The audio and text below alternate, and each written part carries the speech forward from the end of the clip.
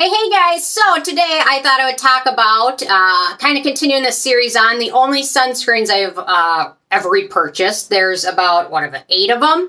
Uh, since I've been into skincare, there's only a few sunscreens I've liked enough to repurchase, and most of these are real winners, and we've got a nice, a nice combination of mineral and chemical options. So, uh, number one, I still love this stuff. It works really great. They have three different varieties. That's a Canmake, mermaid, UV gel. I love the clear version. The white version is like, it's like a sunscreen with a white cast. It brightens, but I mean, if you want a sunscreen with a white cast, there's a lot of other options. And they just came out with a mint version, which I purchased and should be here soon. So I love this stuff. No fragrance in it, no denatured alcohol. Really good. Never got burnt using it yet. And it's one I rely on and absolutely love. So if you haven't tried it, I highly recommend giving it a whirl. It just seems to work well for so many different people. Um, okay, next up. So I bought this uh, several times. I think this is a different formulation incarnation, but it's still basically the same line of sunscreen. That's the La Roche-Posay Shaka. This is their UV Mu, their newest version with the new filter, but I purchased their previous versions and have used them multiple times, and this one is wonderful as well. And uh, I picked purchased mine from the website Soin et Nature, uh, so you can check it out here in the U.S. It's there's only a few websites that you can get this. That was the one I picked uh, uh, it up from, and it shipped really fast, really easily, really nice. Uh, otherwise, I'll link to everything else below, but I don't want to get them in trouble for shipping in the U.S. because they probably aren't supposed to. But anyway, it makes it easy so I get my hands on it because I love this stuff. Uh, anyway, so I love the fact that they have the fragrant version if you want fragrance, no fragrance if you don't want fragrance. The tinted version is so orange, so I'm over trying that. Maybe maybe they'll figure it out, but it's super orange. So I just go with the non-fragranced regular version otherwise. So really highly recommend it. Still have yet to ever get burned or uh, irritated from it. So Okay, next up, so uh, we saw a lot of sunscreens in the last couple of years, especially made in Korea, um, have some issues, should I say, uh, nicely.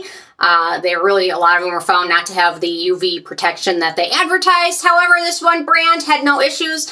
That's the Isntree Hyaluronic Acid Watery Sun Gel. Uh, this stuff is, this sunscreen is amazing. So many filters uh, and so many good in antioxidants in here. A pycnogenol is another great one that's in here, which is a great skin protecting ingredient. And I think one of the few major K-beauty brands that didn't have any issues with their sunscreen. So I trust this stuff. Does have a little bit of a white cast but it is really wonderful. And if you put a little bit of foundation on it, it's great. Still yet to ever get burned or anything like using this. I love this stuff. So highly recommend everyone give this a whirl at least once. Okay, next up on my, I think the second bottle of it, the Hyggee Vegan Sun Cream. I really enjoy this stuff. Uh, chemical sunscreen, no white cast, uh, no fragrance in it. Has some alcohol in it, but for me, I found it to be not very dry and it contains some other hydrating ingredients as well.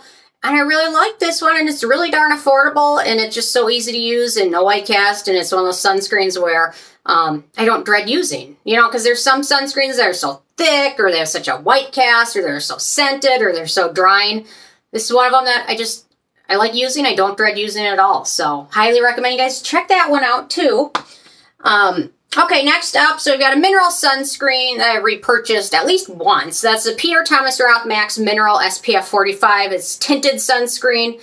They also have a, a matte version, but I, I, really like this one. It's got a nice tint to it. It gives your skin a little bit of a glow. Uh, yeah, so no fragrance in it. Really nice. It's pricey compared to a lot of these other ones, so keep that in mind. But overall, it's a nice one, one that I was convinced enough to repurchase. Um, okay, a couple more. So this is a DRMTLGY Tinted, what do they call it? Universal Tinted Moisturizer SPF 46. This one's a nice tint. Seems to be a great product that works well for a lot of people. It also has a lot of uh, dupes. I think the EltaMD brand, uh, this is a pretty good dupe for that as well. And what have we got? 12% zinc oxide and octinoxate. So it's a combo mineral chemical sunscreen. But overall, really nice product. Very good universal tint highly recommend you guys give that a check, at least check it out, because uh, it might be a holy grail. It is for a lot of people. And then a couple more that I've repurchased. The Drunk Elephant Umbra Tint SPF 30 sunscreen. I repurchased that once. Uh, you know what? It was really thick. I don't know if I would ever repurchase it again. Uh, my last tube, I got like halfway through and I just, it just got so thick. And I just, I don't know why I even repurchased it because the first time I used it, it was nice, but I did realize it was thick, but I hadn't tested a lot of sunscreens out, so I kind of thought that's kind of what I was expecting, then, yeah. And then last but not least, the Australian Gold Botanical Tinted Mineral Sunscreen SPF 50 in the shade Fair to Light, which seems to be out of stock a lot, a lot of places. They have the uh, medium to deep version in stock in a lot of places, but the Fair to Light one has been in and out of stock, so I'll link to it at Target. I don't know. I don't have my bottle with me because I haven't been able to uh, pick up, up, another bottle since it's been so uh, in and out of stock. But I have repurchased it. If I next time I see it in stock, I'll definitely pick it up again because I really like it. And also contains some really nice antioxidants and UV absorbing like uh, seaweed, algae, things like that. So I really, really think that's a nice mineral sunscreen. A lot of people should give it a try to when it's in stock, if ever. So anyway. Um, anyway, interesting from you guys, if there's any sunscreens you guys love. Which ones have you repurchased? Is there anything that's like a must-have? Uh, love hearing from you guys. Uh, anyway, I will see you guys more tomorrow. Thank you so much. Bye, guys.